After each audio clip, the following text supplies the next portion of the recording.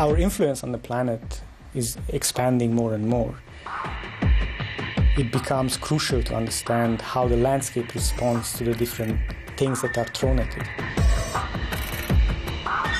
My name is Alexandru Codilean. I was born in Romania. I'm 30 years old and I'm a geoscientist.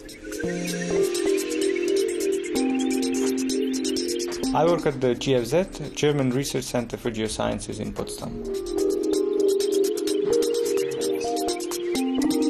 I'm interested in finding out how the surface of the Earth is being shaped by the interaction between tectonics, climate, and surface processes such as erosion. And units are always very expensive, so then when they got a chance, they moved to. Uh... We are trying to understand how the surface is changing, and for that, we need to first know what that surface is. The climate gets warmer. Global warming. This information you get from a satellite image.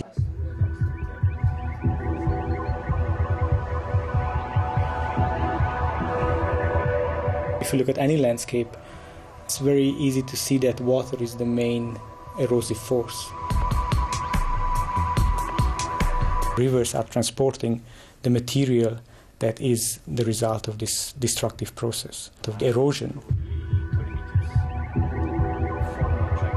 We get our primary data directly from the fields, collecting sand from rivers, collecting pieces of bedrock from the surface.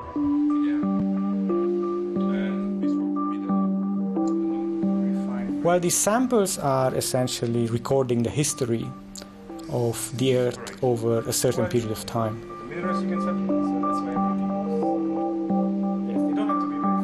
We're using a special kind of nuclides that are formed by cosmic radiation in the upper surface of the Earth.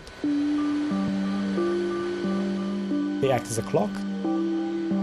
Therefore, we can use them to quantify how quickly erosion is changing that landscape. Some of the techniques we're using are amazing. We are able to look inside the crystal. We can reconstruct the picture of how, how the planet looked a couple of million years ago. And that, that I think is fascinating.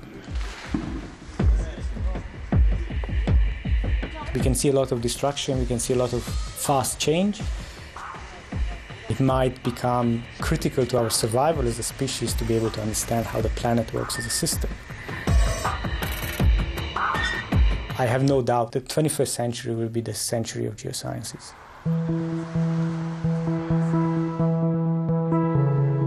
To me, Berlin was always a place where a lot of change happens. I like the art on the wall because it's sort of a snapshot of history. It's like some of these landscapes which we use as evidence for something that might have happened in the past.